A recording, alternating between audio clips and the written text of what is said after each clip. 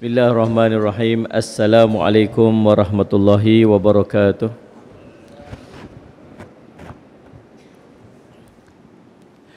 Alhamdulillahi rabbil alamin wal aqibatu lil muttaqin wa bihi nasta'in ala umuri dunya waddin. Ashhadu an la ilaha illallah wa ashhadu anna sayyidana Muhammadan abduhu wa rasuluh. Allahumma salli wa sallim ala habibil karim sayyidina Mustafa sallallahu alaihi wasallam wa ala alihi wa ashabihi wa man tabi'ahum bi ihsanin ila yaumiddin. Subhanaka la ilma lana illa ma 'allamtana innaka antal alimul hakim. Rabbi shrah li sadri wa yassir li amri wa hlun 'uqdatam min lisani yafqahu qawli Bismillah ma sya Allah la yasuqul khaira illa Allah ma sya Allah la yasrifu su'a illa Allah ma sya Allah ma kana min ni'matin fa min Allah ma sya Allah wala haula wala quwwata illa billah al aliyyil azim بسم الله الذي لا يضر مع اسمه شيء في الأرض ولا في السماء وهو السميع العليم. بسم الله الذي لا يضر مع اسمه شيء في الأرض ولا في السماء وهو السميع العليم. بسم الله الذي لا يضر مع اسمه شيء في الأرض ولا في السماء وهو السميع العليم. Na'udhu bi kalimatillahi tammati min syarri ma khalaq. Na'udhu bi kalimatillahi tammati min syarri ma khalaq. Na'udhu bi kalimatillahi tammati min syarri ma khalaq. Allahumma inna na'udhu bika minal barasi wal jununi wal judam Wa min sayyi'il asqam.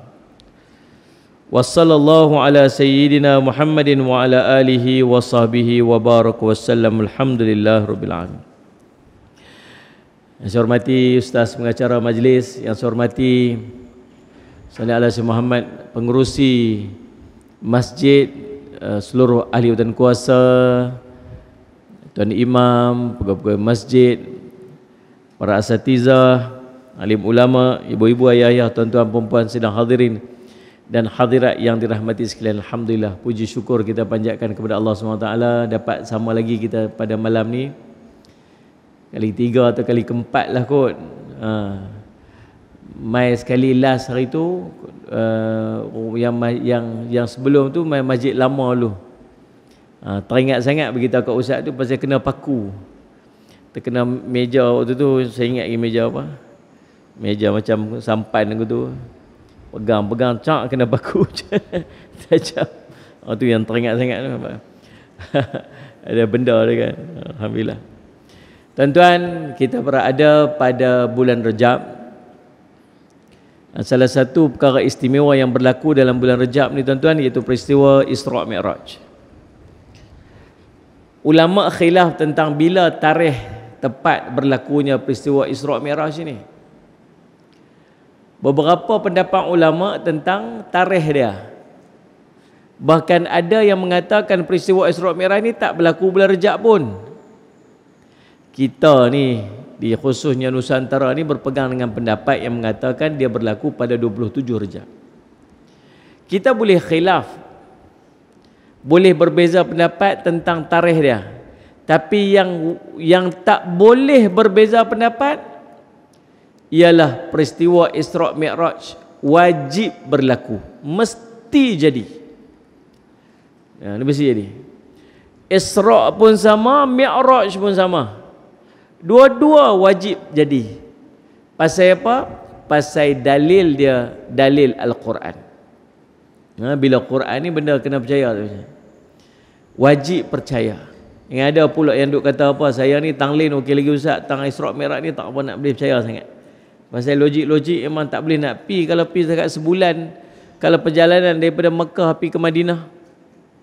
Salam Allah Muhammad eh, daripada Mekah pi sampai ke uh, apa ni Majil Aqsa tu, eh biasa-biasa tu. Bukan tempoh dia pendek. Tuan-tuan, baru ni Salam Allah Muhammad ada perbincangan berkaitan dengan teknologi orang dulu-dulu. Saya tengok satu Salih Alaihi Muhammad uh, dokumentari. Ada satu tempat di tengah lautan lautan apa? Lautan Hindi kalau tak salah saya lah. Dia antara pulau yang duduk tengah laut tu dia ada satu pulau belah ni satu pulau belah sini dia ada satu jambatan yang usia dia lebih 4000 tahun yang lalu dan jambatan ini bukan berjalan atas laut Jambatan ini dia batu bata tu disusun sampai ke dalam laut. Bukan jambatan yang jenis macam kita ni jenis lagu tu, jenis lagu tu, jenis lagu tu tu. Tak dia, dia jadi tembok sepanjang-panjang daripada satu pulau tu kepada satu pulau yang lain sampai ke dalam laut, dasar laut. Sampai orang yang buat kajian tu depa heran macam mana depa susun bata tu. Bila 4000 tahun dulu ni? Elijah Muhammad zaman Nabi mana? Tak tahulah.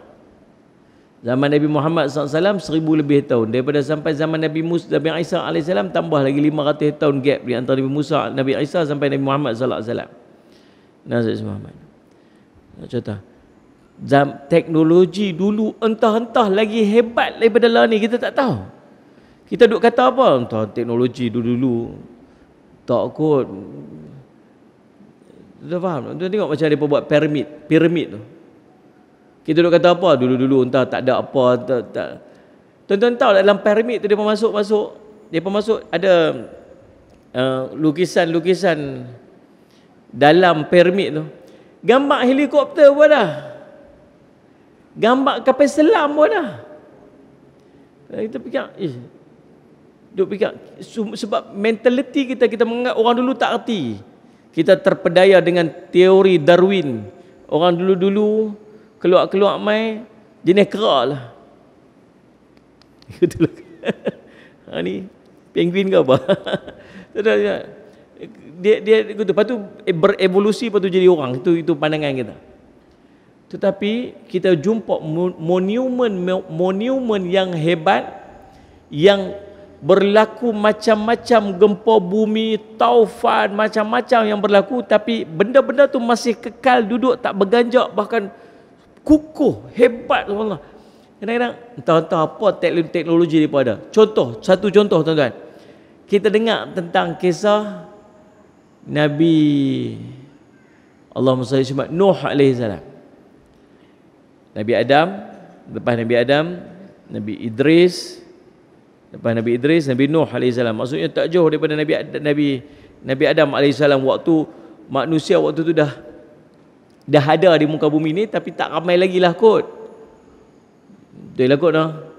ha, tak, taklah ramai sangat lah kot tapi manusia ada lah. Kita duk, kita kita kita teringat apa? Teringat Nabi Nabi Nuh alaihi salam diperintah oleh Allah naik atas bukit. Lepas tu uh, diperintah oleh untuk buat kapal. Kapal ini tuan-tuan kita pun maklum kapal ini dia terdampak di satu satu bukit ataupun gunung nama Bukit Judi. Dia jumpa lah nu belah-belah belah-belah mana Turki atas mana tu. Yang tan-tan kat ujung tu lah. Turkistan, Kogostan, Gohek Gostan, negeri setan. Negara syaitan pun Abdul Wahab ada harta. Kaya, kaya, kaya. Itu cerita Piramli. Jumpa, pun jumpa satu memang nampak macam bentuk kapal. Besar, sebesar-besar. Nabi Adam AS digambarkan oleh Nabi SAW tinggi dia 70 hasta. Ya, saya nak saya nak crack sikit pemikiran kita hari ini. Bila saya dengar, saya pun fikir, betul lah. 70 hasta, Salih Azim Muhammad kalau 80 orang pengikut Nabi Nuh alaihi salam yang tinggi dia 70 hasta tuan-tuan agak-agak besar kapal itu besar mana ni yang besar orang ni besar pokok tinggi pokoknya oh Depa ada 80 orang pengikut Nabi Nabi Nuh alaihi salam lebih kurang 70 ke 80 orang. Tuan-tuan agak kapal dia besar mana? Besarlah. Tu sallallahu alaihi Muhammad tak termasuk dengan para binatang yang Allah perintah Nabi Nuh AS untuk buat masuk ke dalam kapal. Setiap binatang yang ada waktu tu semua pasang-pasang pasang-pasang duduk dekat dalam Allahumma salli ala sayyidina Muhammad kapal. Dan belayak ni bukan sehari. Bukan salli ala sayyidina Muhammad uh, sebulan lebih seratus hari dalam riwayat sebut. Kalau lebih seratus hari, dia pemakan apa? Kalau binatang-binatang yang banyak ni, rimau ada, gajah ada, jirapah ada, saya pick up kukuk lagu tu lah. Tengok ni, semua binatang yang ada ni, berapa banyak yang ada ni, ni, yang jauh lebih banyak, lebih ramai daripada manusia yang ada yang 80 orang lebih kurang. Ni binatang ni semua ni, makan apa? Sehari makan agak berapa tan makanan dia. Manusia pun yang nak makan Salih Allah Muhammad Gajah makan banyaklah Kalau zaman tu entah makan binatang besar-besar Dinosaur ke apa Banyak mana yang dia makan Entah berapa tan Gajah saja makan tan tu tuan-tuan Sehari Kena seratus hari Baru sekong Faham tak faham tu? Tang makanannya ni. Tu tak kira nak pergi toilet. Takkan nak pergi buang lelut dia kot. Tu tak cerita minum ayak. Binatang tak minum ayak. Tiga hari kena minum ayak. Salih alaihi Muhammad. Makanan tak makan seminggu. Salih alaihi Muhammad. Boleh tahan lagi. Ayak tiga hari. Kita perlu ayak tiga hari. Manusia yang duduk di atas, binatang yang duduk di bawah ni, lapis bawah ni, minum ayak apa? Dia kata ayak bah banyak Ustaz. Pun try minum ayak bah ni. Mereka banjir mereka kolam getih ni.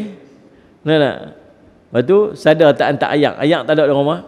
Kata, minum ayak bah tu. Cari sirit. Itu yang tak ada. Tak minum air apa?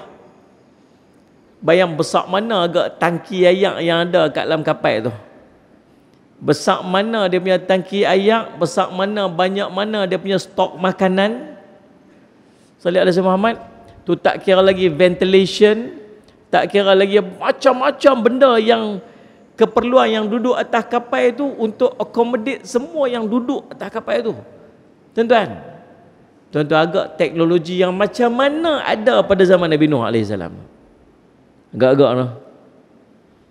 Kita tengok kapal cruise, cruise. Kapal cruise yang ada apa ni dekat Salih Jumat apa ni Penang ada cruise apa. Mewah tuan ada. Baru naik paling banyak 500 orang. Kok banyak, kok boleh pergi seribu saya tak tahulah tapi lebih kurang macam tu. Itu pun kita tengok, ya Allah besarnya, Masya Allah besar. Ini orang saja dah besar tu, besar tinggi apa ni. Uh, pokoknya oh, binatang sampai seluruh binatang semua pasang-pasang semua kat dalam tu.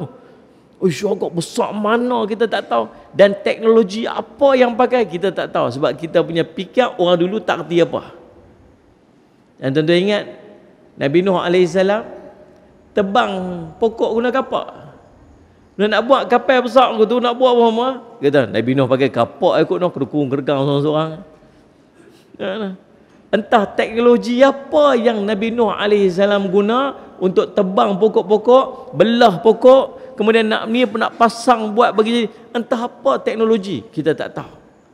Tapi pemikiran kita kita menganggap teknologi orang dulu-dulu ni tak ada kuno pakai batu. Pelaga batu Lagu tu kot kita pegang sebab yang tu je kita jumpa. Nah. Faham faham tak? Nah, Zat Muhammad. Tapi yang berlaku pada zaman Nabi SAW ni zaman Nabi seribu tahun yang lalu. Sayyidina Allah Muhammad. Mungkin teknologi-teknologi itu dah pun dah tak ada lah. Sebab ada satu ketika teknologi-teknologi semua dihapuskan. Kita hanya jumpa saki baki sisa-sisa peninggalan tapi kita tak tahu teknologi itu apa. Peninggalan tu ada, benda ni ada. Tajuk semua orang tengok, "Ih, besarnya macam mana depa buat ni?" Sampai ada pendapat-pendapat yang mengatakan adanya alien-alien yang mai tolong. Pasal dia duk tunjuk sebab tang ni satu negara ni tunjuk satu objek yang sama turun pada langit. Bentuk dia lebih kurang. Ada lagu ni, ada mata semua. Pergi satu negara yang lain, peradaban yang lain, jumpa lukisan, lukisan kat dinding, eh sama pula bentuk dia. Yang ni pun macam yang ni pun turun kat sana, yang ni pun turun kat sana. Kita dia depa buat keputusan, depa buat conclusion, depa kata Allahumma salli alaihi ni mungkin alien yang turun yang pergi tolong orang tak tahulah macam-macam lah.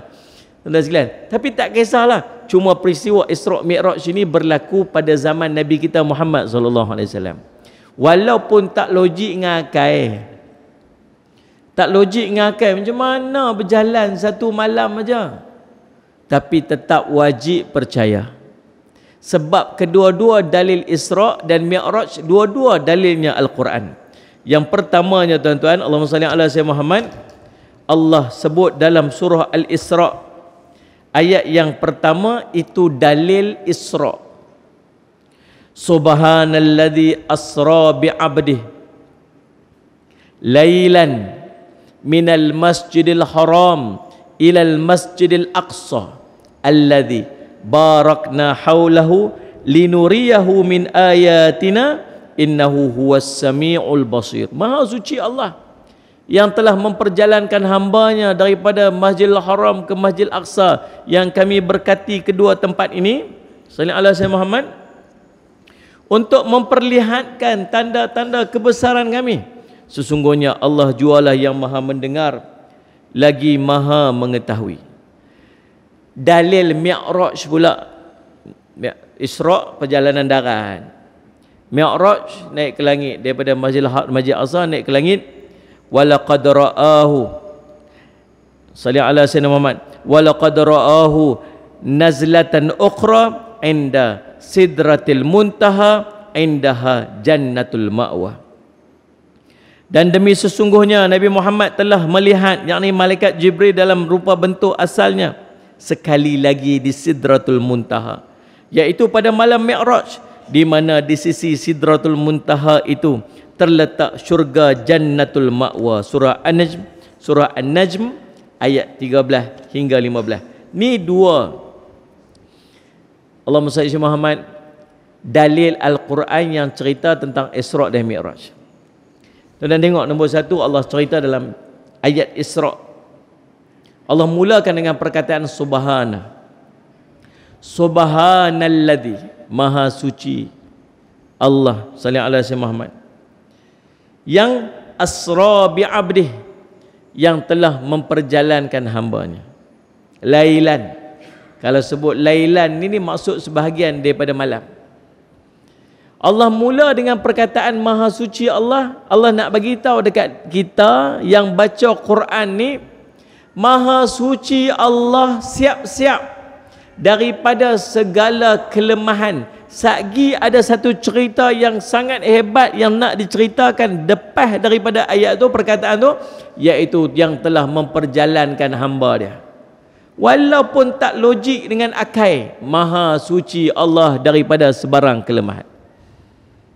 Kemudian Allah kata asra bi abdih ini kunci dia kunci yang keluarkan kepala kita, pemikiran kita daripada tak logiknya perjalanan.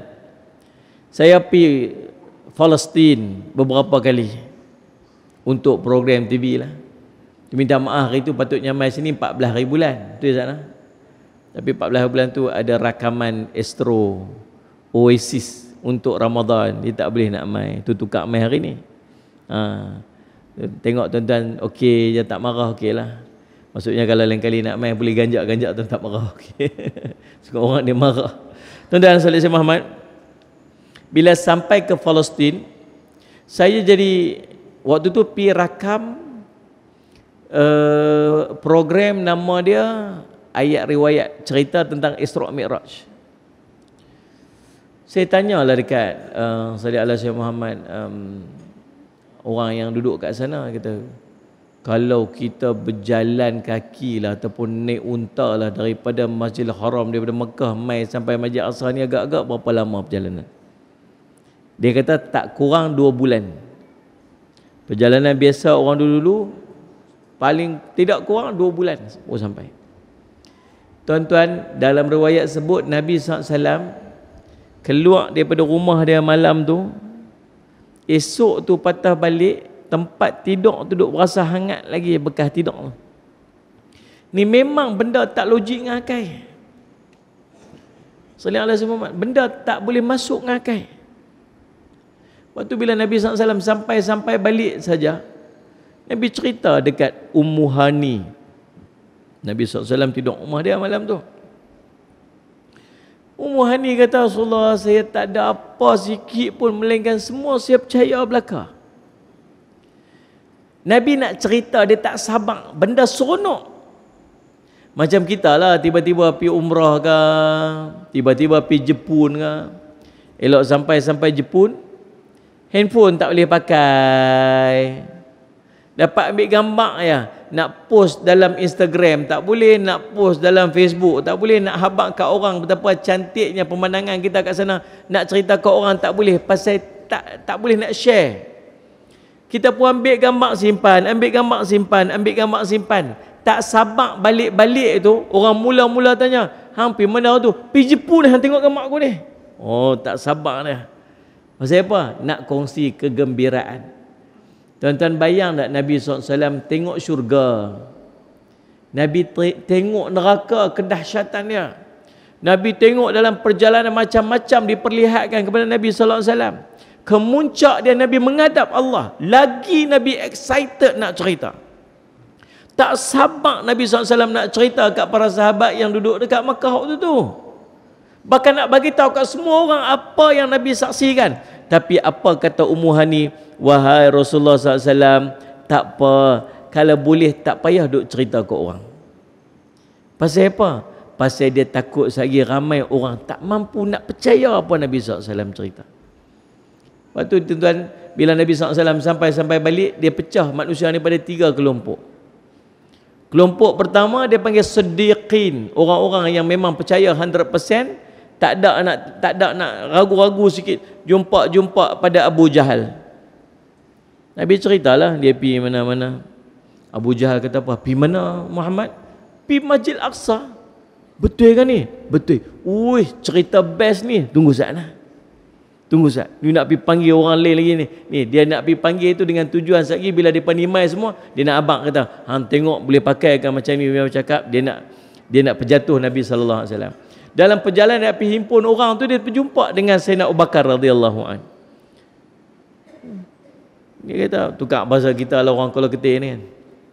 Dia kata, bekak oi. Dia kata, gitu lah. Aku duk kata dah kawan hang tu. Pasal apa?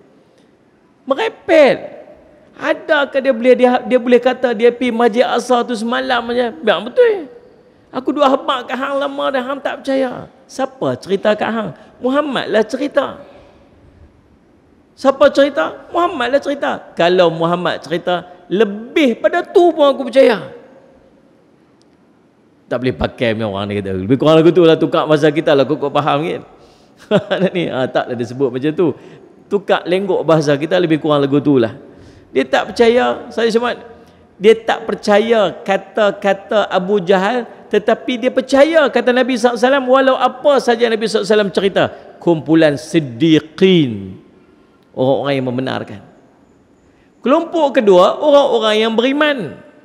Dah masuk Islam tapi tak boleh terima Tuan boleh bayang tak kalau tuan-tuan duduk zaman tu? Zaman orang kena seksa, zaman siapa nampak kata dia Islam, sekali kena tangkap, sekali kena bunuh. Salih alaihi Muhammad. Zinnirah, tuan-tuan kena zinnirah. Zinnirah ni, salih alaihi Muhammad, zinnirah ar-rumiyah. Nama dia. Ini orang Rom. Dia hamba. Jadi hamba ni tuan-tuan bukan semestinya orang kulit hitam, gelap. Tuan-tuan agak-agak Bilal tu muka macam mana Bilal? Kita duduk terbayang dah sebut. Kalau sebut hamba zaman Nabi ni, zaman dulu-dulu ni mesti orang kulit gelap hitam. Hidung besar macam buah buah apa tu? Buah jambu jambu ayam. Kan bibir besar tebal gitu. Rambut kerinting kecau. Kita terbayang gitulah. Tuan-tuan tahu tak saya pergi Habasyah. Utopia, Utopia. Habasyah ni tuan-tuan zaman Nabi sallallahu alaihi wasallam nama dia Habasyah. Di situ ramai daripada kalangan orang-orang ni yang dibawa dijadikan hamba di tanah Arab di merata tempat. Salih Syaman. Lah ni Habasyah tu terbahagi pada dua, satu Eritrea bawahnya Salih Alaihi Muhammad Utopia, Utopia. Ya nak tuan-tuan Utopia. Tu lagu Indonesia lu ni apa ni? Uh, macam mana lagu dia? Jauh jauh Utopia macam mana tak ingat lagu dia. Teringin pula nyanyi lagu tu. Eh. Bukan? Saya cuma. Hmm. tak ingat. Sebab tak ingat. Tidak menyanyi dah lagu tu. Ada semat. Utopia. Jauh nak abak kata jauh sungguh Utopia tu. Pergi. Ish tuan-tuan subhanallah. Saya pernah sampai-sampai kat sana saya tengok Utopia ni tuan-tuan, Habasyah ni. Dia jenis kawasan dia semua bukit-bukit. Dia 90% tanah dia tu semua bukit gunung ganang. Highway dia macam jalan jalan jalan pekan kita ni, jalan depan ni. Kalau jalan kampung dia macam jalan batu. Kalau tuan-tuan Allah punya teruk naik atas bukit kutu-kutu tu. Lalu tepi-tepi tebing tepi ni tak ada pula ni, apa? Tak ada rail pula ni. Tak ada divider tu. Rasa macam nyu kat bawah. Tapi cantiklah tuan-tuan saya sampai-sampai kat Utopia tu dia kata di sinilah bumi hijrah para sahabat. Waktu para sahabat hijrah yang pertama sebelum hijrah ke Madinah para sahabat berhijrah ke Habasyah. Mereka berjalan kaki daripada Mekah pi sampai ke Jeddah. Daripada Jeddah naik sampan melintah sung, uh, Laut Merah sampai ke satu pulau nama pulau Dahlak dekat Eritrea tu berjalan kaki lebih seribu kilometer sampai ke tempat nama di Istana Raja Najasyi tu. Saya pergi tempat tu. Tuan-tuan terbit ayak mata kita. Kata ya Allah susahnya perjalanan mereka ni. Ada mereka baru jumpa satu istana duduk tenggelam dalam tanah Raja Najasyi tuan-tuan saya, pergi. Semalah duduk. Allah Rabbi sedih tengok Tuan-tuan sekalian Alaihi Muhammad, orang-orang utopia ni dulu-dulu depa dijadikan hamba. Depa ni memang sungguh kulit gelap. Kulit gelap tapi segak. Bentuk muka depa segak-segak, hidung mancung macam orang Eropah, hidung tajam. Bibir elok, mata bunda cantik, bulu mata macam tu, rambut kerinting sikitlah. Kulit aja gelap. Tuan-tuan jangan duk anggap kata semua hamba aja muka lagu tu. Segak. Saya ingat kalau duduk kat Malaysia ni pelakon apa? Segak tu kita Dan satu rajin, rajin sungguh, rajin. Tuan-tuan pergi kok pekan masing-masing depa semua jenis tak tabu. Bawa bawa apa pun semua buah tabu jalan jalan jalan. Ha, malam-malam suka duduk biarlah. Oh subhanallah tuan-tuan. Saya semat. Ha depa ni lah. Dan bukan setakat tu. Yang jadi hamba kadang-kadang orang Arab sendiri. Salih ala Sayyidina Muhammad. Antaranya Allahumma salli ala Sayyidina Muhammad Allahumma salli ala Sayyidina Muhammad uh, Allahumma salli Muhammad yang ada di kalangan bangsawan. Orang-orang bangsawan yang kena serang tempat mereka kena tangkap akhirnya anak-anak mereka dijadikan dijadikan Allahumma salli ala Sayyidina Muhammad hamba-hamba.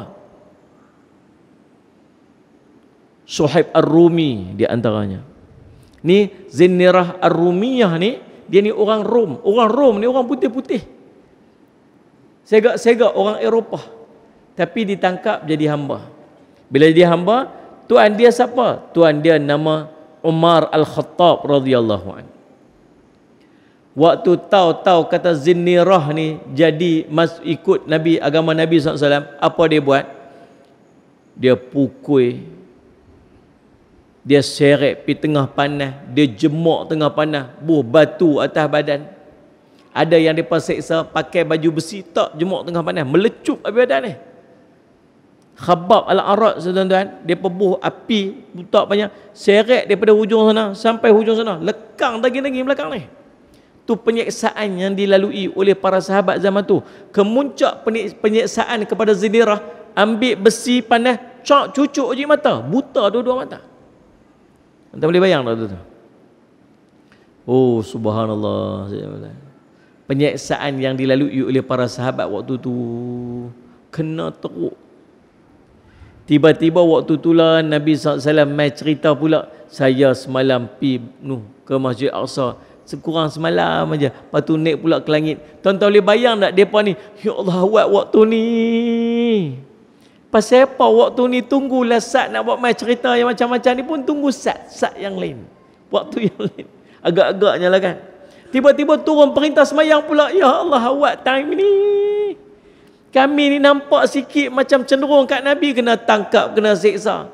Ini suruh semayang pula lima kali sehari pula dah. Allah, tunggulah saat. Bagilah kita menang pilihan raya lu Riu ke-16. Contoh. tunggulah saat. Awak lah ni, pasal apa lah ni? Contoh. So, macam mana? Sebab tu ada di kalangan sahabat yang tak boleh terima. Tak boleh terima.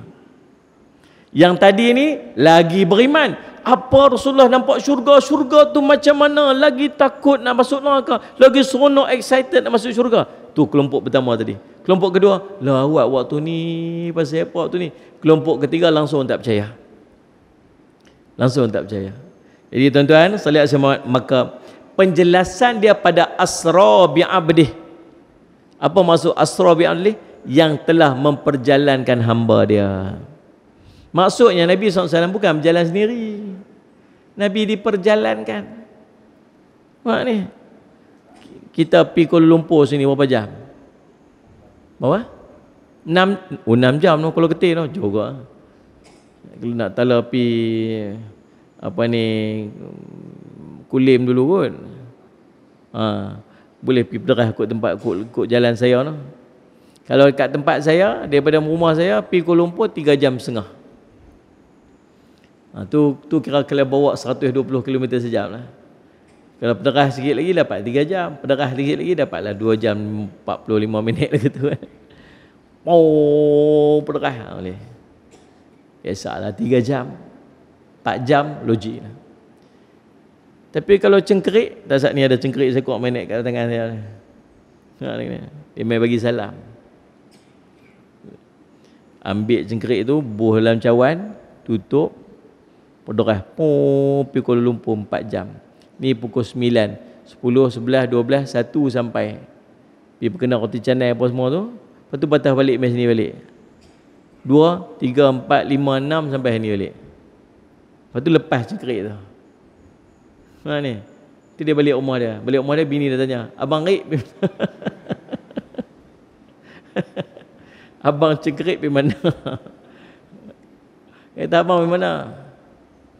minum teh tarik tahun ni tak balik-balik malam ni dia kata pergi Kuala Lumpur kita biar betul ya bang ni kita sungguh aku pergi Kuala Lumpur kata. macam mana abang pergi Kuala Lumpur kita tak logik cerita nak cerita buat cerita biar betul ni pergi Kuala Lumpur kata. sungguh aku pergi Kuala Lumpur kata. macam mana abang pergi kata, bukan aku pergi sendiri pergi dengan kereta ustaz tu tumpang ni kata.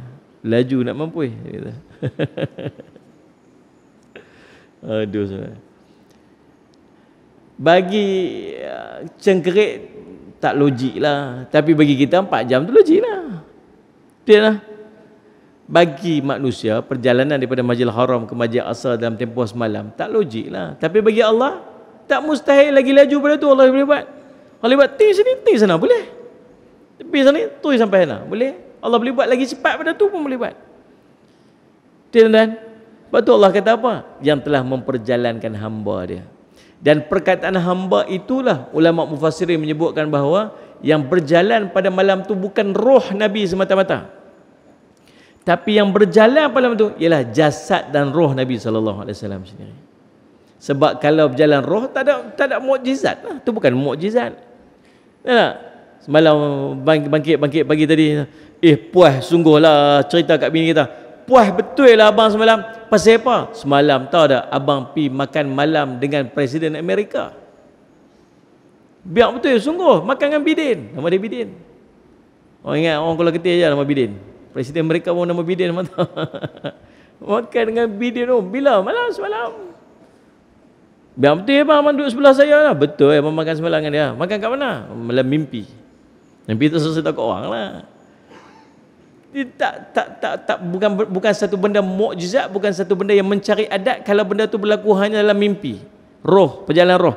Sebab tu mukjizat Nabi SAW bila Nabi SAW berjalan pada malam tu dengan roh dan jasad dia sekali minal masjidil haram daripada masjidil haram ke masjid asa Allahumma salli ala Muhammad. Tuan-tuan masjid asa ni tuan-tuan bila Nabi SAW sampai Nabi naik burak malam tu Nabi SAW naik burak burak ni tuan-tuan Nabi sebut dalam hadis riwayat Imam Bukhari seekor binatang berwarna putih.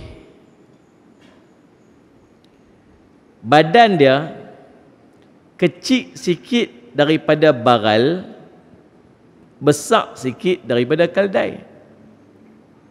Nama dia buruk. Dia melangkah sejauh pandangan mata.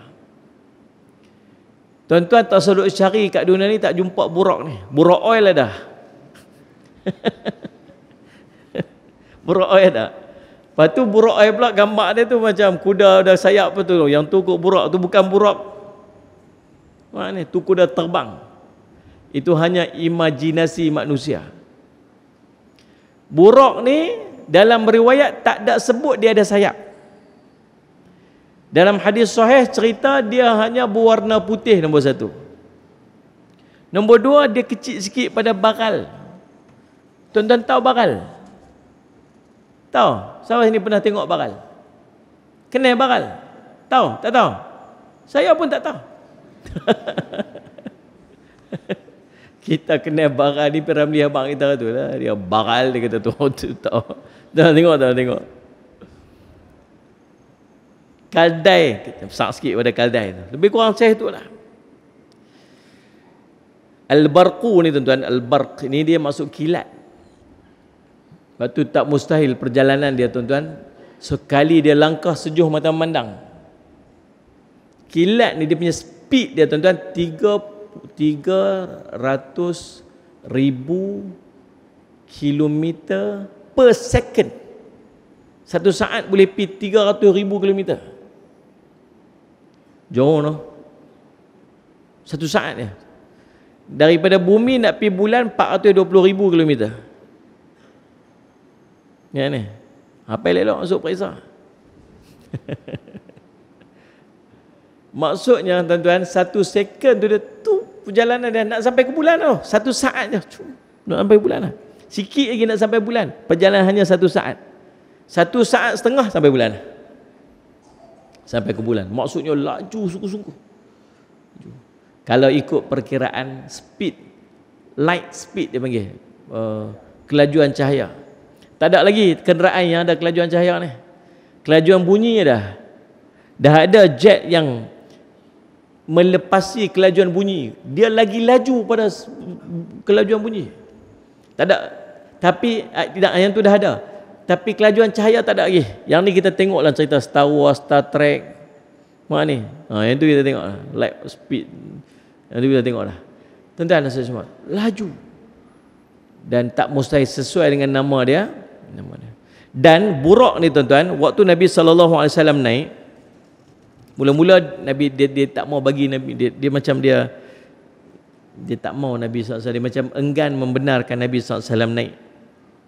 Lalu malaikat Jibril kata kat dia, "Apakah kamu tergamak melakukannya kepada Muhammad sallallahu alaihi wasallam?" Demi Allah, tidak ada satu orang yang menunggangmu yang lebih mulia daripada Muhammad sallallahu alaihi wasallam. Lalu bila dengar saja perkataan macam tu maka gemerciklah peluh-peluhnya yakni Burak kata Allahumma salli ala sayyidina Muhammad dalam uh, Jami'u uh, Tirmizi daripada Anas hadis Hazan ini gemercik peluhnya itu kerana malu dan kerana gembira. Kemudian naik bila sampai sampai sampai Nabi SAW naik ditemani oleh malaikat Jibril alaihi salam sampai ke Baitul Maqdis. Bila tiba saja di Baitul Maqdis, baginda Nabi menambat buruknya di bingkai pintu. Asal Muhammad, di mana para nabi biasa menambatnya di situ. Kalau tuan-tuan ada duit lebih-lebih sikit, tuan-tuan pergilah Masjidil Aqsa.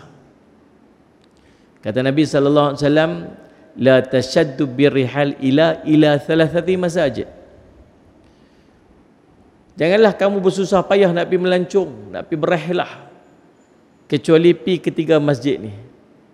Masjidil Haram, Masjid hadha, masjidku ini kata Nabi SAW waktu Nabi SAW cakap dia, waktu Nabi duduk di Madinah wa Masjidil Aqsa. Nama Masjid Aqsa. Tiga masjid ni usaha untuk pi. Alhamdulillah saya sampai beberapa kali. Tuan-tuan, tuan-tuan keseluruhan Masjid Aqsa ni tuan-tuan, dia lebih kurang 14 hektar luas masjid ni. Ni ada berapa ekar masjid kita ni, tapak ni. Ada dua ekar. Ada Ustaz? Tapak masjid kita ni berapa ekar? Ha? Lebih kurang dua ekar luas tapak Masjid Aqsa tu 14 hektar bukan ekar ni 14 hektar so bila Nabi SAW malam tu semayang mengimamkan 124 ribu para Nabi maka tak mustahil semua boleh berimpun dalam Masjid Aqsa tu. Pasal keluasan dia 14 hektar. Kita biasa kalau tuan-tuan pergi ke Masjid Aqsa, dia akan bagi kita duduk di bahagian belakang masjid tu. Situlah tempat. Sebab tempat sana tu dia ada dalam kawasan Baitul Maqdis tu, ada bahagian ramai itu Masjid Aqsa duduk tengah-tengah dalam tembok Baitul Maqdis yang luas tu. Ada bahagian ini, zon ni zon untuk orang-orang Nasrani ataupun orang-orang Kristian. Bahagian ni ada orang Yahudi duduk kat sini. Bahagian sini dia ada orang Allah Muhammad uh, adalah beberapa tempat bahagian orang Islam dia duduk belah belakang dekat dengan tembok besar luar tu. Biasa kita akan duduk di belah belakang tu. Hotel-hotel kita duduk kat situ. Ada hotel-hotel milik orang Palestin. Kemudian kita pun pergi nak pergi semayang. Oh seronok tuan-tuan pergi Masjid Asar ni nak cerita kat tuan-tuan. Ya Allah, seronok. Kita berjalan nak masuk pergi masjid tu, kiri kanan ni bangunan lama-lama batu-batu tu. Lama-lama dulu ni sebab bangunan tu bangunan bangunan Uh, kota Baitul Maqdis yang lama dulu ni. Masuk kita. Sampai kat depan pintu tu. Hari tu saya pergi syuting. Saya tak pakai kopiah. Pakai baju yang itulah baju uniform ni bagi tu. Sampai-sampai pintu luar dia orang tentera Israel jaga. Pintu sebelah dalam dia orang Palestin, tentera Palestin jaga. Polis Palestin. Sebab tanah kawasan tu dia panggil tanah wakaf milik orang Palestin orang Yahudi tak boleh senang-senang masuk kat dalam tu. Saya sampai-sampai dia tahan saya. Pasal orang bukan Islam tak boleh masuk. Dia kata nak pergi mana? Dia cakap Arab. Orang orang orang Israel tu dia cakap Arab. Nak pergi mana? Saya kata saya nak pergi semayang. Dia kata antar sini. Dia kata dia kata saya Cina. Dia kata kita orang Cina. Dia kata tak anak Malaysia dia saya Malaysia dia lah antar sini saya pun tunjuk pasport Malaysia. Dia kata kerap Fatihah. Dia suruh saya baca Fatihah. Orang Yahudi. Polis askar Yahudi tu baca Fatihah dia kata. Saya pun baca. Tuan-tuan dia dengan badan besar dengan kepala botak pegang senapang ketak oh. Kerap Fatihah. Dia kita pun baca Fatihah sampai habis uh, Iqra qul wallahu ahad. Dia suruh baca qul wallahu ahad. Lepas tu kita nak sangkut-sangkut dia tolong sambung pula kat kita. Lepas tu dia saja nak bully kita tak. Mai polis polis Palestin kata, "Ni sudah dah panggil masuk masuk panggil masuk." Alhamdulillah tuan. Bila tuan-tuan masuk masuk Masjid Aqsa ni, pertama-tama sekali tuan-tuan tengok di dalam tembok dia tuan-tuan akan tengok pokok-pokok Allahumma salli alaihi Muhammad um, zaitun yang dah tua-tua. Banyak pokok zaitun ni. Lepas tu dia ada laluan dia, track dah jalan. Tuan-tuan pun ikut jalan tu, ikut dalam batu tu. Kemudian ada tangga, tangga naik ke atas, naik ke atas. Sebab di tengah-tengah tu dia ada kawasan bukit.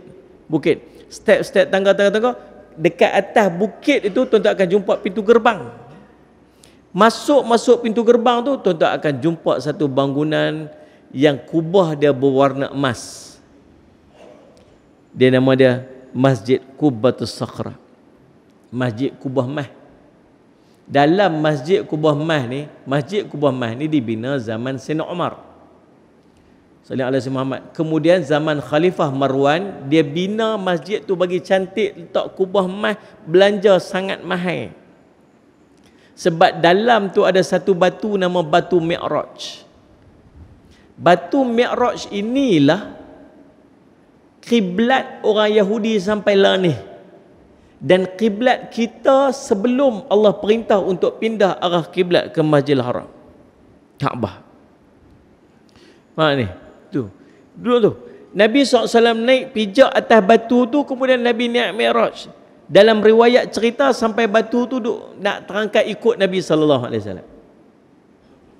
Kita masuklah dekat dalam masjid tu.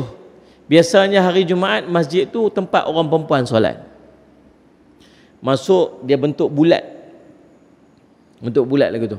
Kita pun masuk kat dalam. Masuk masuk dalam. Kita tengok nampak sekeping batu macam batu hampak kat tengah-tengah. Di hujung tu dia ada satu lubang dia tulis the footprints of prophet Muhammad.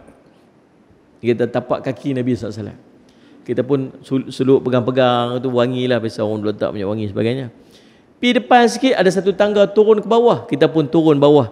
Turun di bawah batu tu ada kapet warna merah boleh semayang bawah tu.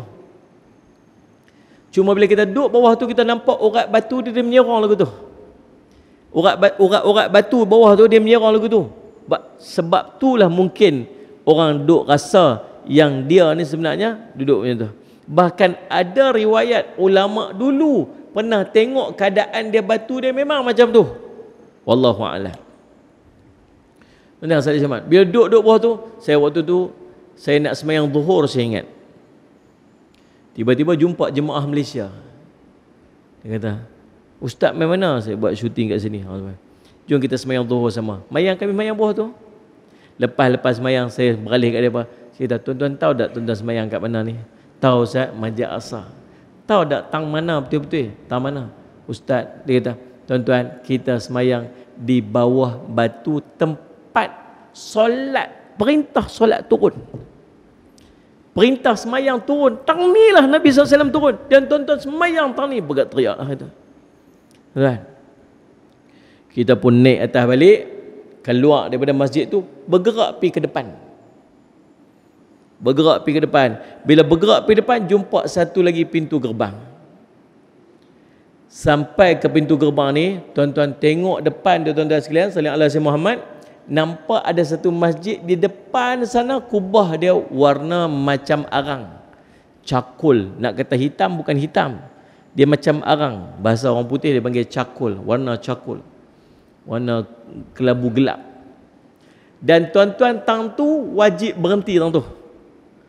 Tak pasal apa wajib berhenti tu. Dia ada satu perkara yang tuan-tuan wajib buat tang tu. Nama dia selfie sebab cantik sangat. Tang tu memang siapa pun nanti dia mesti pusing lah ni dia akan selfie nampak belakang lah. dia selfie belah ni dia nampak belakang dia kubah mah tu. Memang tempat tu cantik sungguh. Ni wajib bahasa kita lah. Kita, kita kalau wajib ni hukum dia tak buat berdosa. Yang ni tak buat pun tak apa perangai kita tu. Hang kena wajib buat tu. Kita pun turun ke bawah. Pi depan sana satu-satu masjid kat depan tu ada kubah tu. Nama dia Masjid Qibli Di sebelah kiri dia masjid nama Masjid Marwan. Kita pun beralih, beralih sebelah kanan. Beralih sebelah kanan kita tengok ada satu, dua, tiga orang askar Yahudi duduk jaga kat depan tu. Kita kata tu menatang apa tu. Kita pun pi, pi, pi tengok ada satu pintu. Depan pintu tu tulis Masjid Burak. Duduk dalam Masjid Asa ni. Rupanya dalam Masjid Asa ni ada banyak masjid. Masjid Kubatul Sakra, Masjid Qibli, Masjid Marwan, Masjid Burak.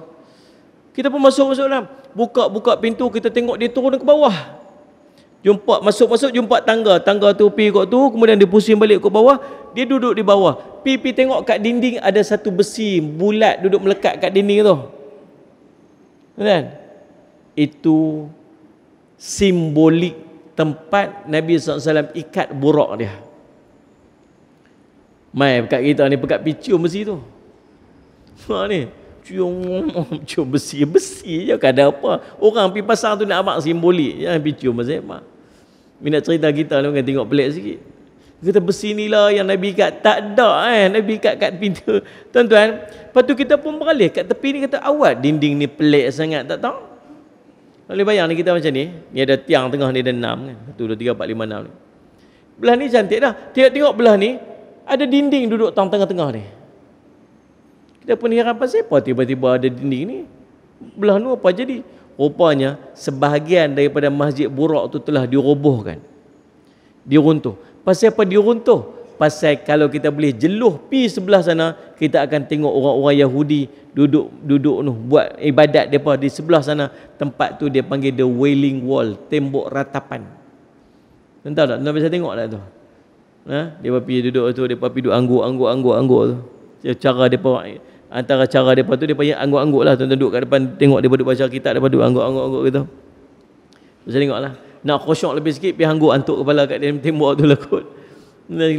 Pasal apa dia buat tu? Pasal tempat tu dia bertentang direct dengan batu mi'raj Nabi SAW sebab tu kiblat dia. Tuan, saya masuk pergi tempat tu. Dia pergi tu kita buat stand up kat sini stand up ni bila host bercakap tahu tak tuan-tuan tengok dekat TV kan host tu bercakap tuan-tuan kita sekarang berada di tempat ni ha, tu, tu. dia panggil stand up Ha, apa director kata, "Ustaz, kita buat stand up kat sini." Ha, okey, kita pun berdiri. Duduk tempat depa tu ah. Tempat depa tu, depa sebelah belakang. Kita duduk tu, kita pun kata kat depa, depa kan faham kita cakap Melayu. Ha, inilah orang-orang yang uh, melanggar perintah Allah, Allah perintah apa semua depa kata. Depa main tu, "Oh, bagus, bagus." Depa tak faham kita kata apa. Tuan-tuan sekalian subhanallah. Itu suasana Masjid Al-Aqsa. Kemudian tuan keluar balik tuan-tuan pergi masjid. Di Masjid Qibli, masjid yang selalu tuan-tuan tengok bila dikena serang dengan orang Yahudi apa semua dia duduk sembunyi dekat dalam masjid tu yang pintu dia besar tu. Tuan-tuan perasan tak tuan-tuan tengok kadang dia duduk kena serang tu? Itu Masjid Qibli depan tu. Ada satu tangga turun ke bawah Masjid Aqsa Qadim Masjid Aqsa lama. Masjid Aqsa zaman dulu-dulu ni masuk alam tu tuan-tuan tengok ya Allah tembok-tembok dia besar tiang tu punyalah besar Pernah satu hari dia duduk kat tu, dia dengar bunyi pelik bawah tanah. Tentara eh, tuan-tuan tahu tak pada zaman Salihuddin Al-Ayyubi pi buka Masjid Aqsa, pi buka Baitul Maqdis, pi take over Baitul Maqdis, dulu pernah dibuka oleh zaman pada zaman Sayyidina Umar radhiyallahu an. Lepas tu kena rampas balik. Lepas tu dibuka balik oleh Salahuddin Al-Ayyubi. Tuan-tuan tahu tak Masjid Aqsa tu jadi apa? Jadi tempat pembuangan sampah selama puluhan tahun. Tempat buang sampah penuh sampah tu. Depa bersih buat balik masjid. Tuan-tuan malam tu depa duduk rehat dengar. Ni recently ni dalam 10 tahun lepas kata sampai lagi. Dengar bunyi gerudi dengar bunyi oh, mesin kat bawah tanah depa pun jeluh tengok ada satu telaga jeluh tengok dalam telaga tu rupa-rupanya orang Yahudi sedang korek lebih 20 lubang di bawah Masjid Aqsa alasan nak cari tinggalan-tinggalan sejarah dia panggil the the uh, Haikal Sulaiman. Dia berkata ni ada Temple of Sulaiman dulu ni. Solomon Temple dia panggil dia nak pergi cari balik sumber artifak bohong sampai satu pun tak ada. Memang tak jumpa. Memang tak ada. Nak cari tu tu Masjid Aqsa tu ada lah. Nabi Muhammad. Lalu subhanallah Sayyidina Muhammad tuan. Dan rupa-rupanya tujuan dia ialah untuk merobohkan Masjid Aqsa daripada bawah. Sebab dia nak bangunkan dan target dia ialah membangunkan temple dia kuil dia. Banyak masjid yang jadi macam tu lah pergi ada satu tempat tuan-tuan sekalian satu masjid dalam dia ada makam Nabi Daud AS makam Nabi Daud bawah dia atas dia masjid dua tingkat ada kubah ada kaligrafi ayat Quran kat tepi dia. Kita masuk masuk dalam dia suruh kita pakai topi atas kepala. Dia sediakan satu, satu bekas macam ni dia tak topi kecil-kecil tu kopiah kecil-kecil tau kopiah kecil-kecil macam macam Allah Muhammad Muhammad um, putu piring tu aja dah satu putu piring ni kan putu apa dia panggil putu mayung ni tahu dia suruh atas kepala kita. Nak masuk sini yang kena buah atas kepala hang ini. Kalau tak buah tak boleh. Lepas tu, ha, siapa pakai topi boleh, siapa pakai kopiah boleh masuk. Masuk. Rupanya dekat dalam tu ada kubur ataupun makam Nabi Daud alaihissalam dan masjid tu total ditukar jadi sinagog. Sinagog ni kuil orang Yahudi. Ada satu masjid lagi nama Masjid Ibrahim. Masjid Ibrahim ni dekat Hebron. Hebron ini daerah negeri yang diperintah oleh orang Palestin. Tapi seluruh kawasan Hebron itu dipagar 10 meter tinggi. Macam ni padang serai ni, padang serai ni diperintah oleh Palestin. Contoh. Sebelah padang serai ni Kulim ya. Sebelah padang serai mana? Eh, ini, ini bukan padang serai, ini Kuala Ketir. Astagfirullahalazim. Sebelah Kuala Ketir ni apa Mobo Pulah. Nah ni. Ha. Katalah Mobo Pulah tu diperintah oleh Israel. Kuala Ketir diperintah oleh Palestin. Dia tembok keliling Kuala Ketir ni tuan-tuan 10 meter tinggi. Ujung setiap ujung tu ada askar Yahudi duduk jaga. Tak boleh keluar, tak boleh masuk. Ada dua pintu je, pintu dua pintu je. Nak masuk, nak keluar sini hang kena pergi minta permit untuk keluar. Hospital duduk belah sana. Hebron itu diperintah oleh Palestin. Ada satu masjid yang sangat bersejarah kepada orang Islam nama masjid ni Masjid Ibrahimi sebab dalam tu ada makam Nabi Ibrahim alaihissalam. Dan itu adalah kubur Nabi Ibrahim alaihissalam. Kalau tuan-tuan jumpa makam-makam belum tentu kubur. Makam Nabi Ibrahim dekat dengan Kaabah tu bukan makam bukan kubur, itu bekas tapak kaki Nabi Ibrahim alaihissalam. Tuan-tuan jumpa makam Bilal merata tempat, bukan kubur belum tentu lagi. Tuan-tuan jumpa makam para nabi merata-rata. Alaihi Muhammad. Alaihi Muhammad itu belum tentu kubur dia. Tapi dua tempat ini confirm kubur nabi. Yang pertama kubur nabi Muhammad sallallahu alaihi wasallam di Madinah. Yang kedua kubur nabi Ibrahim alaihi salam di Hebron tu. Sampai hari ini ada. Ada enam kubur dalam satu masjid. Dua depan Nabi Ishaq dengan isterinya Rufqa tengah ada makam Nabi Ibrahim dengan isterinya Sarah. Belakang ada makam Nabi Yaqub dengan isteri dia Salih Muhammad. Ada enam kubur duduk atas satu masjid yang sangat besar. Duduk di atas puncak bukit kita sampai-sampai tengok masjid tu di atas bukit. Satu hari pada tahun 1995 semayang subuh bulan Ramadan 10 akhir Ramadan hari Jumaat. Waktu semayang Jumaat baca surah sajadah elok habis sujud saja daripada sujud sajadah bangkit tiba-tiba bunyi letupan. Pro pro pro pro pro pro pro pro orang yang duduk sebelah tu dia ingat bunyi mercun. Rupanya bunyi tembakan dan dia tahu bunyi tembakan katanya bila ada orang sebelah dia yang jatuh bruk bruk bruk jatuh.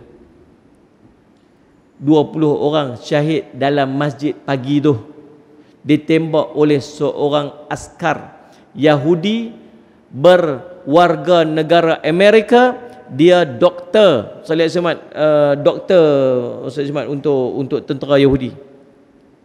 Dia tak puas hati dia duduk dia bawa senapang dia masuk dalam dalam masjid pro pro pro tembak orang sedang sembahyang subuh. 20 orang mati dalam masjid. Orang kampung semua keluar. Bila keluar 30 orang lagi kena tembak dekat luar dan mati syahid hari itu 50 orang mati pada hari tersebut. Masjid itu ditutup selama 9 bulan tutup 9 bulan masjid.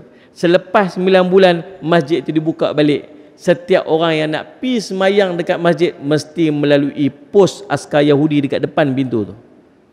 Bila pagar dia buat satu pos askar Yahudi nak masuk dia kena pin, lalu pintu yang jenis pusing tu. Nak ni? Ha. masuk kena pergi tunjuk ID apa semua boleh masuk. Dia izin masuk boleh masuk masuk masuk masuk. Masuk masuk dalam. Tuan-tuan boleh bayang tak kalau macam ni keadaan dia Salih Muhammad bahagian ni dia tutup separuh kemudian dia berhenti dalam tu dia tutup separuh yang ni dia ambil bahagian kecil ni ha yang ni untuk orang Islam. Yang yang ni yang L ini yang daripada sana mai ke daripada, daripada situ mai ke sini ni dia tarik tiang ni tiang ni tiang ni tiang ni tiang ni ha, tang ni ni bahagian orang Islam ni tang ni ni ni semua jadi kuil orang Yahudi. Tuan sebab dalam dia ada makam Nabi Yaqub alaihi salam yang daripada dialah yang digelar sebagai Bani Israel. Tuan-tuan, geram tak? Tuan-tuan dengar tuan-tuan sakit hati ya? Kalau tuan-tuan tak sakit hati, tak tahu apa jadi dengan hati tuan-tuan. Sebab rumah Allah dia tukar jadi kuil. Sakit hati. Bukan satu. Berlambak masjid semua jadi kuil. Bahkan banyak masjid yang dah bertukar jadi uh, pusat cendera hati pun dah. Subhanallah dah. Tu yang jadi di Palestin. Salih Muhammad. Tuan-tuan, itu Masjid Aqsa. Saya cerita. Lalu sampailah Nabi SAW ke Masjid Aqsa. Lalu Nabi SAW pun ikat burak dia dekat situ. Salih Allah Muhammad. Lalu Nabi SAW pun naik ke langit. Walaqad ra'ahu nazlatan ukhra. Demi sesungguhnya Nabi Muhammad telah melihat malaikat Jibril dalam bentuk rupanya yang asal. Itu kali kedua. Kali pertama Nabi SAW tengok malaikat Jibril salam waktu peristiwa turunnya ayat ya ayyuhal mudaththir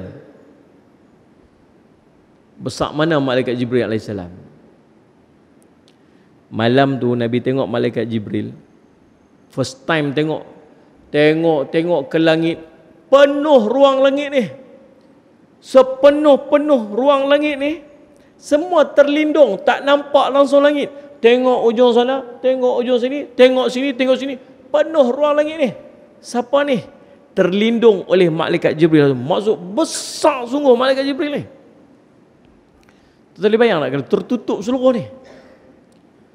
Besarnya Masya Allah tak nampak tu ujung ufuk tu. Tak nampak. Terlindung ufuk tu. Besarnya malaikat Jibril ni. Nabi kata ih besar sungguh kejadian kamu wahai Jibril. Jangan kata macam tu. Hebat sungguh. Jangan kata tu. Ada lagi besar pada aku. Malaikat Israfil. Hari yang malaikat Jibril diperlihatkan kepada Nabi SAW dalam bentuk rupanya asai, malaikat Jibril ni ada 600 sayap. 300 sayap sebelah kanan, 300 sayap sebelah kiri. Yang malam yang Nabi SAW nampak malaikat Jibril penuh langit tu, tu hanya buka satu sayap dia saja daripada 600 sayap ni. Kita kata, eh besar. Satu aja eh, penuh orang ni. Subhanallah, besarnya malaikat Jibril AS. Nabi kata, hebat penciptaan kamu Jibril. Eh, jangan kata lagu tu. Ada lagi besar pada aku. Siapa? Malaikat Israfil. Besar mana malaikat Israfil ni? 1200 sayap. Maksudnya sekali ganda malaikat Israfil yang besar. Eh, malaikat Jibril yang besar. Kata, eh, Masya Allah. Tuan-tuan, kalau bandingan daripada 600 kepada 1200 itu kita bayang sekali ganda kan kalau besar ni maksudnya dua kali lah besar tu lah lebih kurang dia kan faham ke tu tak tak kalau malaikat Jibril buka semua 600 sayap dia semua 600 sayap dia buka dia hanya duduk di bawah satu sayap malaikat Israfil oh tu dia besar tak besar Nama atas sayap buka duduk bawah satu. Bayangkan kalau dia buka semua 1200 sayap dia. Ketua besarnya sayap malaikat Israfil, besarnya malaikat Israfil. Jangan kata lagu tu, ada lagi besar. Malaikat pemikul aras 2400 sayap yang kalau dibuka 1200 sayap malaikat Israfil hanya duduk di bawah satu lembayung sayap malaikat Nabi eh malaikat malaikat pemikul aras Allah SWT. Tuan semua sebab tu besarnya para malaikat. Nabi SAW tengok malaikat Jibril kali kedua dekat Sidratil Muntaha. Dan dalam perjalanan itu tuan-tuan sekalian Allah salli ala sayyidina Muhammad Nabi SAW berjumpa dengan para nabi dan para rasul Allah salli ala sayyidina Muhammad. Tuan-tuan patah balik sikit bila Nabi SAW sampai sampai dekat Masjid Aqsa Nabi SAW solat dua rakaat. Semayang Waktu itu dalam riwayat sebut Nabi SAW mengimamkan seluruh para Nabi dan para Rasul dalam nak membuktikan dan nak mengiktiraf Nabi SAW sebagai Salih Allah Semat penghulu kepada para Nabi dan para Rasul. Bukan Nabi yang lain Nabi Muhammad SAW Nabi kita. Kemudian Malaikat Jibril AS bawa kepada Nabi dua bekah satu bekah berisi arak satu bekah lagi berisi susu. Lalu baginda memilih susu lantas Jibril berkata engkau telah memilih fitrah. Segala puji bagi Allah yang telah memberi hidayah kepadamu untuk memilih fitrah. Jika kamu mengambil arak nescaya akan sesatlah umatmu. Hadis riwayat Imam Bukhari. Lalu Nabi SAW pun naik ke langit Mi'raj. Bila sampai-sampai ke langit tiba di langit dunia. Jibril berkata kepada malaikat penjaganya bukalah. Dia bertanya siapa ni? Aku Jibril kata dia lalu dia bertanya lagi ada siapa bersama dengan kamu? Jibril menjawab ya bersamaku Muhammad. Dia bertanya lagi apakah diutuskan? Sallallahu alaihi wasallam Muhammad malaikat kepadanya. Sallallahu alaihi wasallam malaikat menjawab. Jibril menjawab ya. Lalu malaikat penjaga langit pertama pun membukanya sambil berkata marhaban dengan kedatangannya. Sesungguhnya telah datang sebaik-baik orang yang datang Allah bersama hadis ini riwayat Imam Bukhari bila Nabi SAW sampai ke langit pertama Nabi SAW tengok ada seorang lelaki sedang duduk di sebelah kanan dia ada satu kumpulan manusia. Sallallahu alaihi Muhammad, sebelah kirinya ada satu kumpulan manusia. Bila dia tengok sebelah kanan dia senyum. Bila dia tengok belah kiri dia menangis.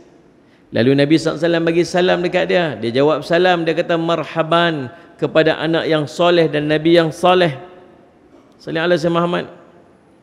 Kemudian bila baginda bertanya Jibril, siapakah lelaki itu? maka Nabi Jibril pun menjawab itulah Adam di sebelah kanannya anak-anak cucunya yang bakal menjadi ahli syurga dan di sebelah kirinya adalah bakal daripada ahli neraka tuan-tuan pasal apa jumpa Nabi Adam AS pada langit pertama kata Imam As-Salihi dalam kitabnya sub uh, Sallallahu Alaihi Wasallam dalam kitab dia dia sebut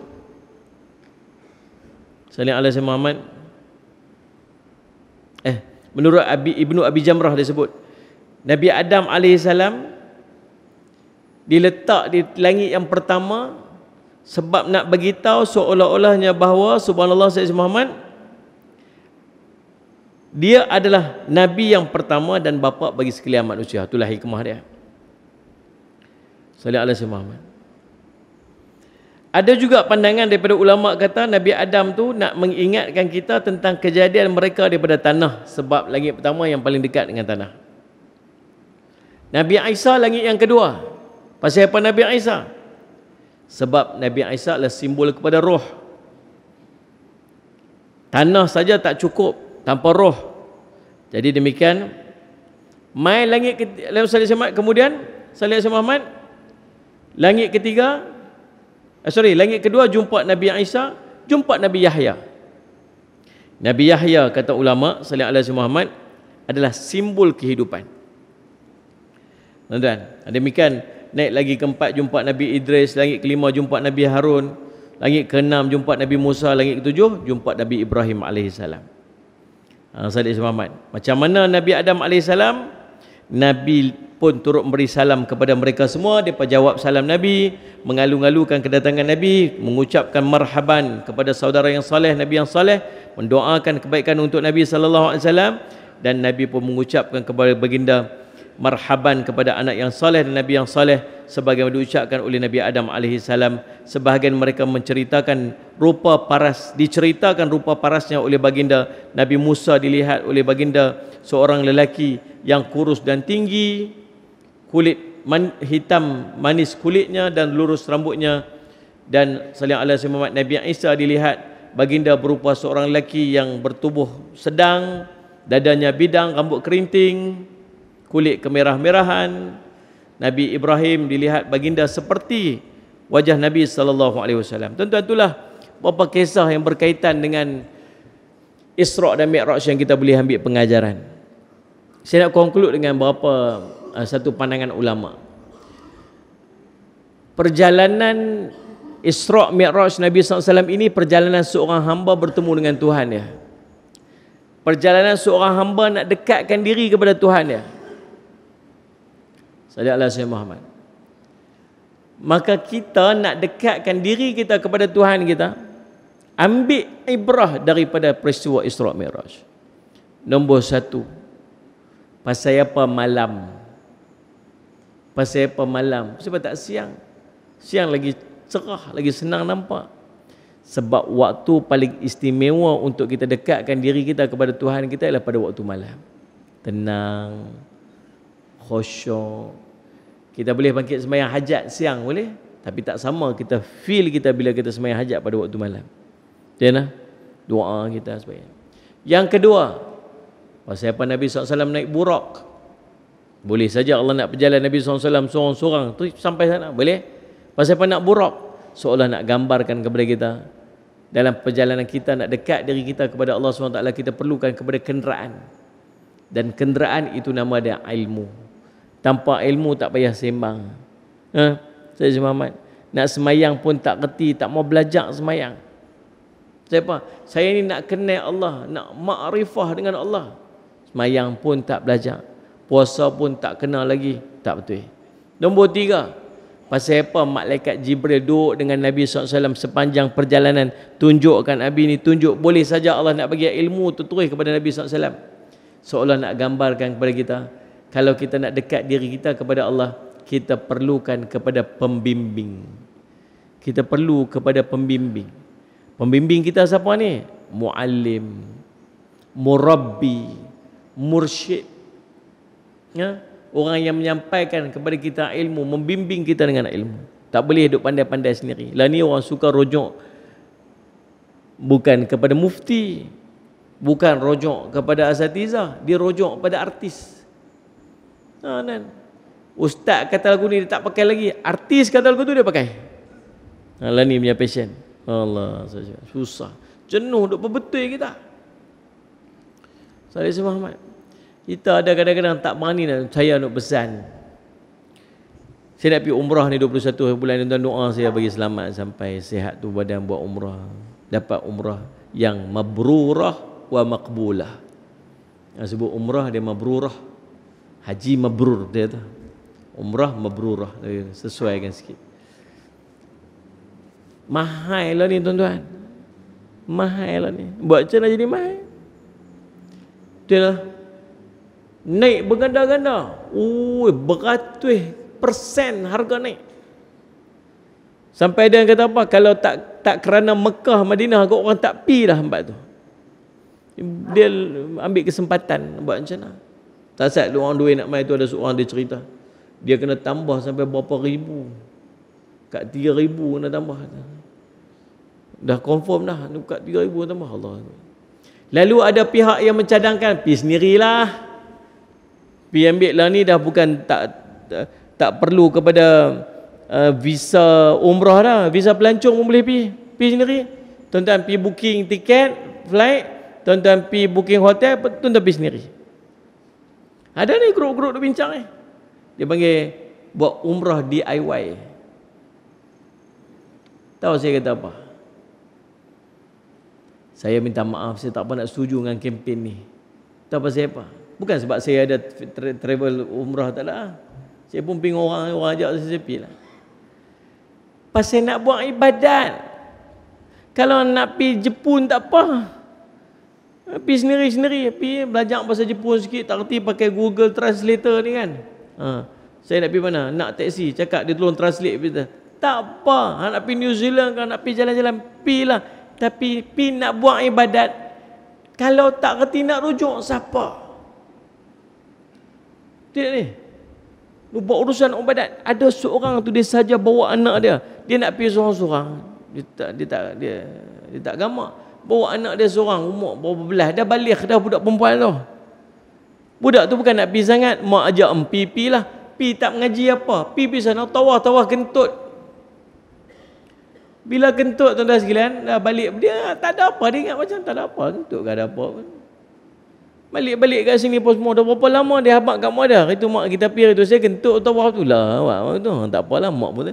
Pi rujuk ustaz ustaz kata apa? Nah, boleh dia duduk dalam dia dia dikonsider sebagai masih duduk dalam ihram lagi. Bahkan subhanallah dia berkahwin pula lepas pada tu. Banyak benda yang berengkai habis kes yang tu tak ada ilmu ni tuan-tuan. Saya sendiri pun kadang-kadang buat jemaah ada benda kita tak kerti kita rujuk lagi pada orang lain. Ini dia nak pergi sendiri. Dia nak pergi sendiri. Dia nak buat urusan sendiri. Tak reti, jangan duk buat. Kita yang duk pergi berulang kali pun ada je benda-benda kadang-kadang kita berjumpa yang kita tak reti. Tuan-tuan saya sebut. Pasal nak ibadat. Kalau tuan-tuan pandai, cerdik, biasa dah tak apa. Datang nak rujuk kat mana, okey silakan. Tapi kalau kita yang tak biasa pi, yang baru setakat pi sekali, yang kalau boleh pi dengan siapa-siapa, pi dengan pembimbing, itu lebih baik. Pasal kita nak buat ibadat dan kita nak pastikan ibadat kita tu Allah terima dan tak ada masalah-masalah yang akan berlaku dah ini. Saya cuma tuan. Tu. Yang berikutnya tuan-tuan sekalian saya bila Nabi SAW dalam peristiwa Isra' dan Mi'raj ini Nabi SAW pergi daripada masjid ke masjid. Boleh aja Nabi SAW naik daripada uh, kawasan tanah haram Mekah naik boleh? Ha. ataupun sampai-sampai ke Baitul Maqdis boleh. Tapi Allah sebut dalam tu daripada Masjidil Haram ke Masjid Aqsa nak beritahu dalam perjalanan kita nak dekat diri kita kepada Allah kita tak boleh lepas daripada masjid betul nak jadi orang baik kena jadi orang masjid. Betul-betul nak jadi orang baik kita kena jadi orang masjid, dekat-dekat dengan masjid. Ni sampai tuan-tuan boleh bayang tak kalau tak kerana semayang Jumaat tu wajib saya ingat sekali pun tak berjejak kaki kat masjid ni. Ada. Kalau tak pasal semayang Jumaat tu wajib, dia tak main masjid dah kan. Hari hari Jumaat pun duduk keluar, duduk keluar. Saya pun heran, saya tak faham lah tuan-tuan dengan kita ni kadang-kadang. Ni nak beletak lima minit lagi, tunggu Ustaz. Nabi sebut, Salasun, Salasun, man kunna fihi wajada halawatul iman. Tiga perkara yang kalau tiga perkara ni ada pada diri tuan-tuan tu akan dapat kemanisan iman. Nombor satu sekali, an yakun Allah wa Rasul ahabba ilaihi mimma siwahuma. Dia mencintai Allah dan Rasul itu melebihi daripada selain pada keduanya. Yang keduanya, dia mengasihi saudaranya dan tidaklah dia cintai melainkan semata kerana Allah. Yang ketiga, dia benci untuk kembali kepada kekufuran. Sebagaimana dia benci dilemparkan dalam api. Yang nombor satu sekali, dia cinta pada Allah lebih daripada semua. Orang cinta ni lagu mana cinta ni? Orang cinta ni tuan-tuan, bukan tunggu takat cakap I love you. Ni Pak Long-Pak Long yang umur dah 70, 60 dah, 50 pun, pun jadilah. Ada tidur malam-malam cakap I love you kat Mak Long? Ada tak Mak Long? Ada tidur malam-malam? Tok Hang. Ya Tok Hang. I love you. Wah, muntah hantar tu. Agaknya lah. Mana ada lah tak sebut dah. tak nak sebut dah. Ha ni. Kalau sebut. Orang tahu. Tengok orang tua tengok orang putih tu. Jalan pegang tangan. Balik je pegang tangan lagi kita tengok. Ayolah pegang-pegang tu. Tuan buang terbuat, buang terbiak apa lagi aku ni. ni. Lagi telefon anak-anak dia ni balik cepat nampak mak ni nampak nampak gaya tak lama ni. Tuan-tuan, cinta ni dia terzahir dengan perbuatan. Kata ni panjang panggilkan Nuri rumah. Eh aku meluat betul dengan panjang. Dia kata kat bini dia. Bukan bukan abang tak mau pi tapi tak boleh pi dengan panjang ni. Panjang. Tengoklah hari tu ni betul pilihan raya hari tu ni. Dam-tam dia lain. Oh dia maki kita ikut dan lah. Oh aku tak boleh pi dengan panjang ni. Ha ni. Jomlah pi lah. Kalau tak pi dia kata apa pula. Ha jomlah jomlah jomlah. Agak-agak dia pi tu dia pi tu dia duduk lama-lama tak? Agak-agak pergi duduk belengkak lah rumah tak? Pergi lah tak tahu duduk depan, duduk kat sofa, duduk sana, aku tu tengok TV, tolong angkat-angkat hidang. Ada tak? Ada. Agak-agak lah. Ni faham tak faham saya tanya ni? Ada tak aku tu? Tak ada lah. Dia duduk tau, duduk ujung. Oh, duduk kat tiang apa ni. Tiang kemah paling ujung kali tu. Duduk meja tu. Salih Alayhi Muhammad. Bini dia kata apa nak masuk tengok pengantin sat. Pi pi cepat je lama-lama kan. So bini teralik sikit lah tu beletak lah. balik kali duduk lama-lama ni start kereta pom pi. Ha. Tu tanda cinta ke tanda meluat? Tanda cinta ke tanda meluat? Meluat. Itulah panggil kita di rumah Allah ni. Itulah panggil, panggil kita di rumah Allah tu. Mai duduk belengkak keluar nak pi nak pi ni nak pi juga ni. Nak kena pi juga. Tapi pi tu pun Allah dia kali duduk dalam. Yang bubuh pi lah tuan-tuan tuan-tuan masjid kita ni ada bahagian ni dia panggil bahagian dia panggil tempat. Yang kita niatkan sebagai apa? Sebagai tempat solat ataupun dewan solat. Yang tiqaf duduk tang ni. Orang dekat luar sana, Sadik Zaman, yang tak tempat yang tidak diniatkan sebagai dewan solat, Sadik Zaman, orang haid pun boleh duduk tuan-tuan.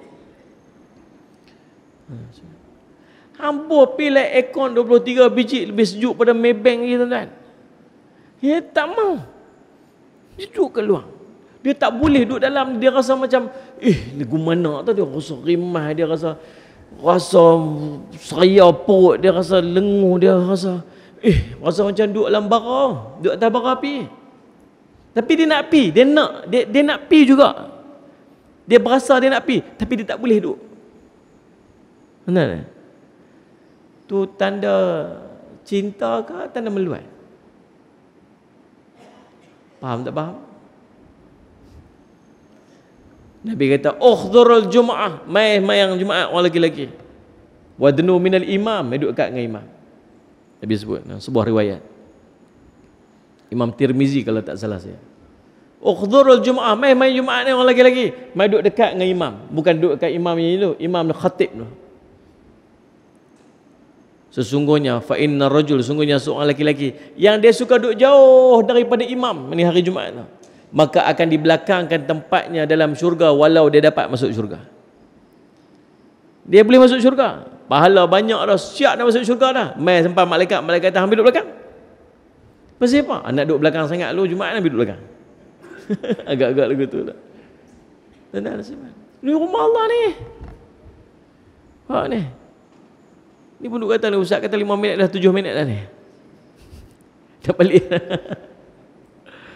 Allah masih mana? Tanda. Tanda. Tanda cinta. Allah tak selesa lah, tak seronok lah. Ni balik tanya abang, abang. Kalau pergi main Jumat, tang mana abang suka duduk hari Jumat tu? Itu dia kata kat bini dia. Yang tahu tak bilik ayak mana? Bilik ayak masjid. Tahu bilik ayak masjid mana? Tahu. Tepi tu.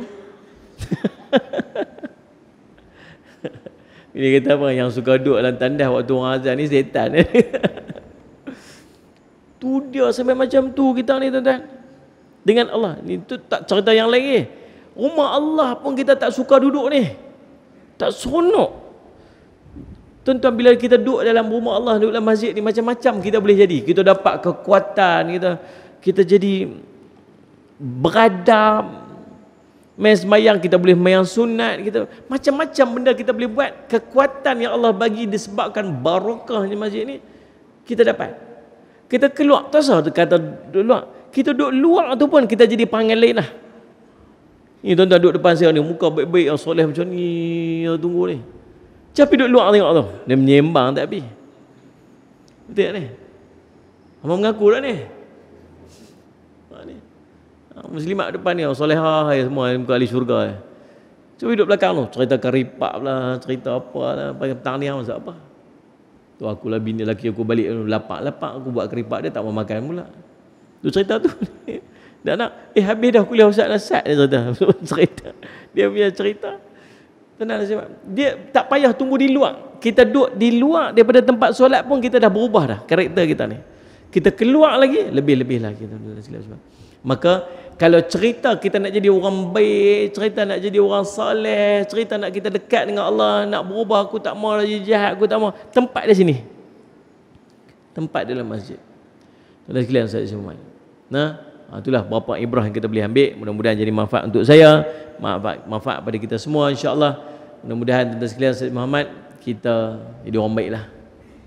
Jadi orang baiklah. Ha, saya cuma berdoa Allah ampun dosa-dosa kita, angkat darjat kita, angkat martabat kita. Kita dibimbing oleh Allah ni supaya kita tak buat maksiat lagi dah. Ha, kita ni sudah Allah bagi taufik pada kita untuk sentiasa buat baik aja. Insya-Allah. Mudah jadi manfaat dan saya minta ampun minta masalah silap. Aku qouli hadza wa astaghfirullah li wa lakum. Wassalamualaikum warahmatullahi wabarakatuh. Bismillahirrahmanirrahim. Alhamdulillahirabbil alamin.